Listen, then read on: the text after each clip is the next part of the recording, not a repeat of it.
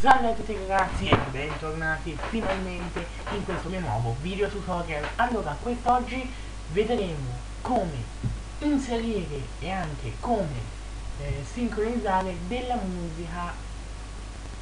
Anzi no, la sincronizzazione ve la farò vedere in un nuovo video Però vi farò vedere come inserire e convertire della musica su iTunes Perché ho un iPod e voglio usarlo. Quindi vogliamo come fare allora andiamo sul desktop apriamo iTunes. iTunes invio iTunes musica ok. Adesso apriamo il menu file.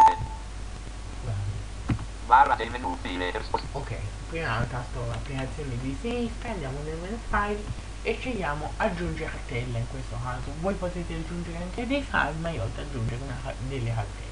Menu nuova, pla, nuova, nuova, nuova, nuova, modifica, chiudi, aggiungi file alla, aggiungi cartella alla aggiungi cartella in.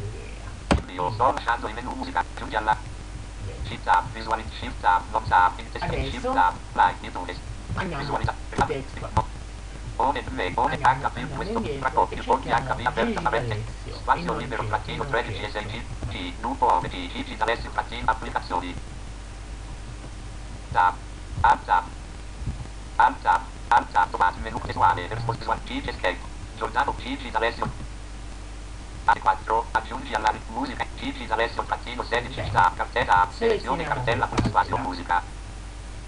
Adesso Aggiungo il testo di dialogo, elaboro due punti San Valentino, Sì. contro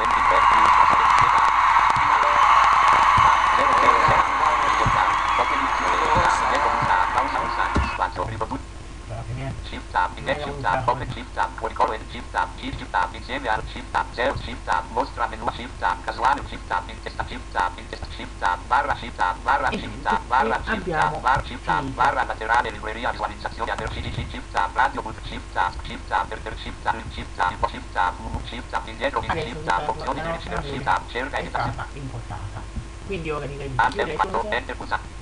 E di stoppare questo video. Quindi se il video vi è piaciuto lasciatemi un commento e un like e noi come al solito ci rivedremo in un prossimo video che sarà su come sincronizzare le foto. Ciao a tutti.